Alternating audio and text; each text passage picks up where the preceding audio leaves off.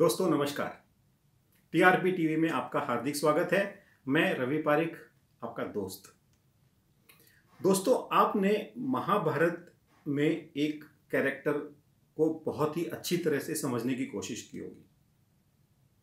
दोस्तों, एक महागुरु थे महाभारत में द्रोणाचार्य। उनको कौरवों का साथ देना था, लेकिन वो बचपन से पांडवों को और कौरवों को दोनों को शिक्षा देते हुए आए थे। वो एक प्रकार से अपने राजमहल के गुरु थे। दोस्तों, उन्होंने सभी सौ कौरव भाइयों को और पाँचों पांडवों को उन्होंने अच्छी शिक्षा दी। हर प्रकार की युद्ध कला में उन्हें एक अच्छा एक्सपर्ट बनाया। एक बार वो जंगल से कहीं गुजर रहे थे और वहाँ पर एक कुत्ता भौंकने लगा।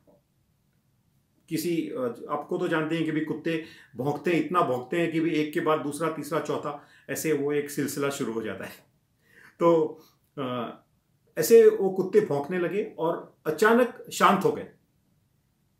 उन्होंने उनके पास जाकर देखा तो वो कुत्ते के मुँह में पान थे, जिसके कारण उसका बोलना बंद हो गया था। अर्थात किसी ने बाण चलाए थे, वो आसपास में कहीं दिखाई नहीं दे रहा था लेकिन उसने इतने परफेक्टली बाण चलाए थे कि कुत्ते के मुँह में वो बाण थे और वो बोलना बंद कर चुका था।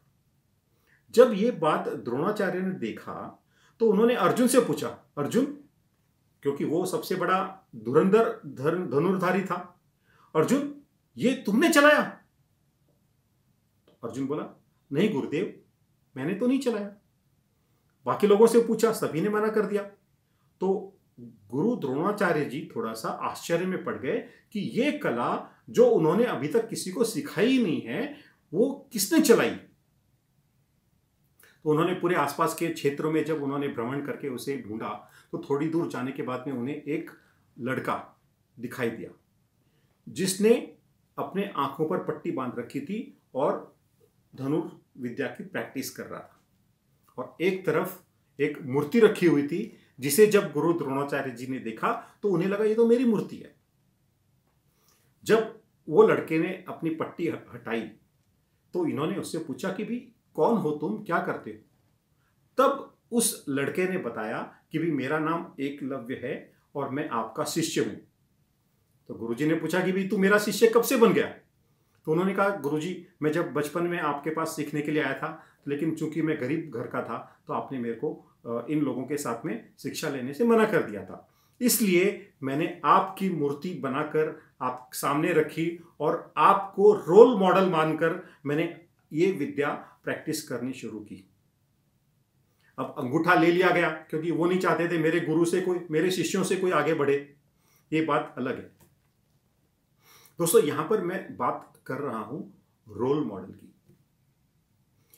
एकलव्य ने गुरु द्रोणाचार्य को रोल मॉडल मानकर उनको फॉलो करते हुए उनसे सीखा और उनसे आगे निकल गया।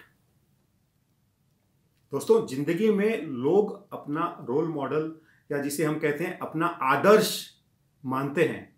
आपने भी किसी न किसी को आदर्श माना होगा। लेकिन क्या कभी आपने एकलव्य की तरह उतने डेडिकेशन और कमिटमेंट के साथ उस रोल मॉडल को फॉलो करने की कोशिश की?